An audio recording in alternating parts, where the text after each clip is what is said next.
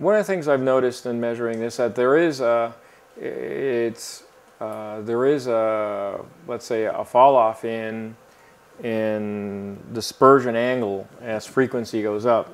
Mm-hmm. And why does that happen? If is it a function of the actual voice coil diameter or number of coils? Uh, what's happening in the panel? Because you said that at every frequency, the panel adapts to that new frequency in terms of its radiation pattern. And if, if it's actually collapsing, which is good mm-hmm. if frequency goes up because it's actually becoming a smaller radiating surface. Yes. Yep. Uh, therefore, should be maintaining its pattern. Yep. But is it a relationship between the frequency and the size of the coils, or the number of coils, location? Yeah. So yeah, so that's or all of the above. Yeah, no, no I mean, yeah. So there's there's there's a there's a few questions there that I'm, I'm, I'm going to cover. No, that's great. Um, so yeah, exactly as you say, we have if we consider a single single exciter, for example. So we know that the, the diameter of this coupling region where the energy is being imparted, in this case, is uh, 30, 32 millimeters. And what we find is, is that when the wavelength in the, the, the bending wavelength in the panel um, becomes of this order of magnitude, um, what we find is then, of course, it, the, the, radiation zone can't really get any smaller. Mm. What you find is the region inside here becomes like a very efficient little uh, uh, kind of like an oil can, and, and that radiates quite efficiently, and, and you get a you can get a little peak on uh, on axis and moderately broad, um, but again with the right kind of uh, damping and stuff, you can actually spread that spread that energy and, and use it to your advantage to some extent. We wouldn't always rely on that, mm. but it's a useful feature.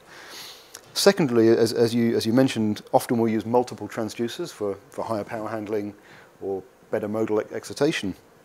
And then you have like a, you could almost consider it as like a, a cluster zone where, let's say, you've got three of these coupler rings, and almost like the zone that they occupy between the three of them is then your smallest uh, radiation zone.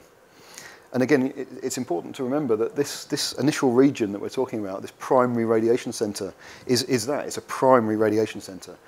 Because after that comes the modal energy. So when we look at an impulse response, um, you know, we see a, a defined spike at the very beginning, and that is coming from the, that primary radiation center. And then what follows that is the diffuse tail. And again, a lot of people would look at that and go, well, that's, you know, there's a, is that ringing or does that sound like re reverberation? But of course, we, we know from um, psychoacoustics, we have something like the, the, called the precedence effect, which tells us that sounds arriving within a certain time are considered to come from and be a, uh, related to the initial signal.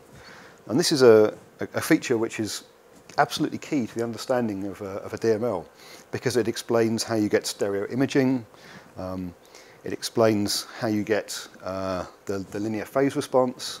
Um, it's, it's a really key component. And we see in the impulse response, your initial spike, your diffuse tail, is well within the precedence window um, for, for speech, for music, all those sort of effects.